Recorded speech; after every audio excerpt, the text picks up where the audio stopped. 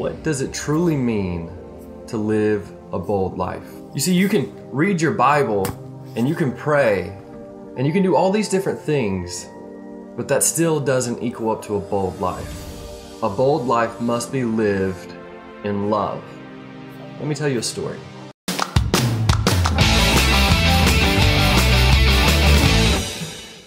I recently heard a story told by a young man named Brad.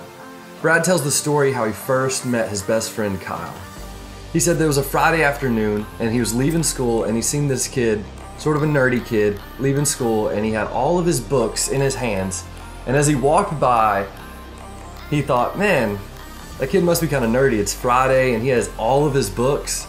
It's at this point that he sees a group of guys run past him and run into this nerdy kid with all the books. They knock it out of his hands and he falls down in the dirt and they just continue to run off. And Brad, you know, having some sympathy, he turned around and he went and helped him pick up his books. He learned that the kid's name is Kyle, and they actually had a lot in common. They lived pretty close to each other, so Brad walked Kyle on home carrying half of his books. Brad goes on to say that over that weekend they spent pretty much every second together. Uh, Kyle actually came down and played football with his friends, and Brad's friends all liked him. Brad liked him, became best friends. That was just their freshman year, so they had four more years to get even closer and closer and closer. And Brad says that actually Kyle, over the years, he filled out and he actually became more popular with the girls than the captain of the football team. So Kyle had a pretty good four years. And it's on his fourth year, his senior year, that Kyle is the valedictorian and he has to go up and give a speech. And during the speech, Kyle says that graduation is a time to thank those who helped us the most. He says teachers, family, coaches, and most of all, friends. Kyle goes on to say that that Friday afternoon he'd gathered up all of his books out of his locker so that his mom didn't have to come back and get them because Kyle was planning that evening to go home and to kill himself. You see, but Brad's chance encounter, Brad turned around. Brad seen someone in need and he stepped up, and when he did, he saved a life. What are your actions doing? What are your actions capable of? What kind of difference can you make in someone's life? Because that nerdy kid, or that weird kid, or that guy that sits alone at lunch, or that guy that never talks at work, you don't know their story. You don't know what they're going through, what they're facing, what their home life looks like, what their work life. You don't know that when they go into that next class, if they're gonna be bullied by every single person in that class. You don't know what they're going through. What is your encounter leaving on someone else's life? Whenever you encounter someone, are they feeling built up? Are they feeling better about themselves? Are you leading with love? Or are you waiting for someone else to do it? Because too often in our culture today, that when we see someone in need, we don't even stop because we immediately think someone else will do it. Well, as a Christian, if you want to truly live a bold life, you are that someone else. That you should not wait for someone else to rush in, that instead you rush in. That you step up, you move in. When you see someone in need and when you see someone hurting, when you see someone depressed, alone, you step up and you step in because you don't know what your actions can do to someone's life. You could be the one who turns around, helps some kid pick up his books, and you could save his life. We don't know what our actions are capable of. But I do know that God calls us and God calls us to love.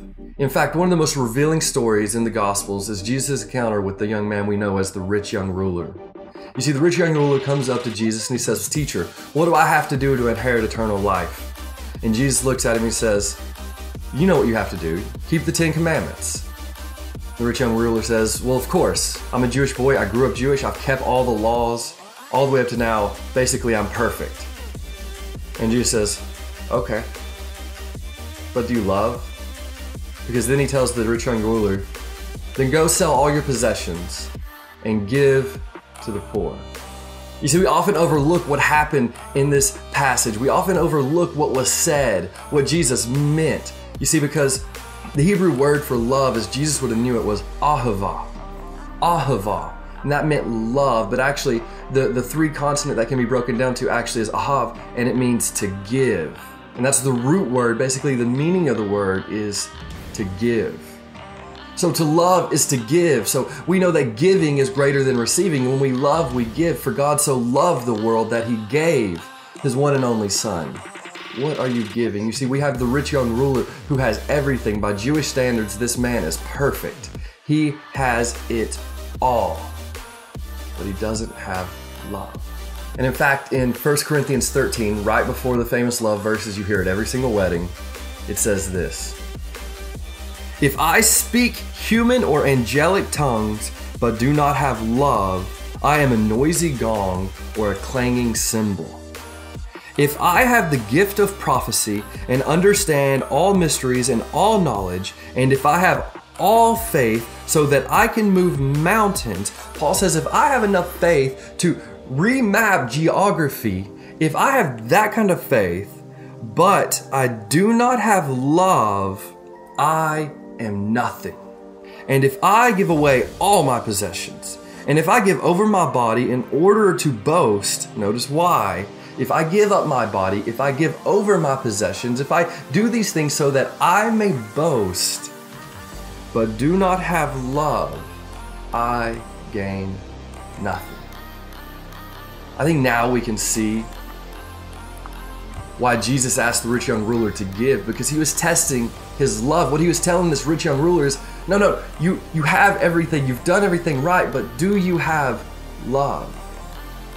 Do you love others? Do you love your neighbor? So much that Jesus actually says, when asked what are the most important commandments, he says, Love God and love your neighbors as yourself.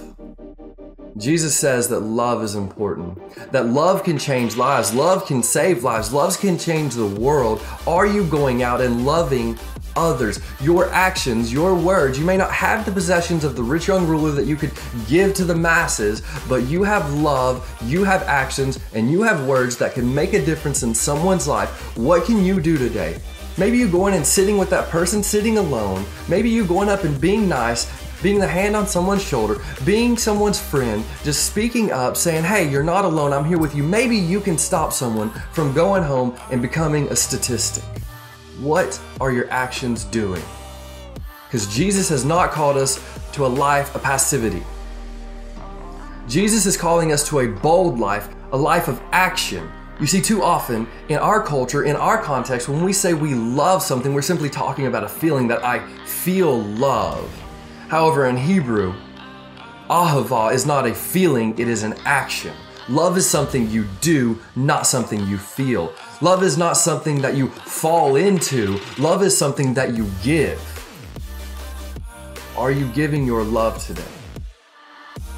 I pray that if you take nothing else out of this video, if you take nothing else out of any of my videos, you simply get this that you should go out and love others. That you should go out and show the love of Jesus, show the love of the gospel, show the grace and mercy of God to everyone that you encounter. So when people encounter you, they are built up, that they are encouraged, that they know the character of God because of the way you treated them. That is my absolute prayer for this channel. Is that you would go out and you would show Jesus to everyone you encounter. Think about how you can do that this week. Then pray about it. Ask God to give you the courage and the strength to live boldly in His name. All right, guys, question of the day. What is the greatest act of kindness you've ever seen with your own eyes? All right, guys, I hope you enjoyed this video. If so, go ahead and slap that subscribe button. Leave me a comment down below. Let me know that you enjoyed this message. I pray that you go out and you live boldly. All right, guys, love you.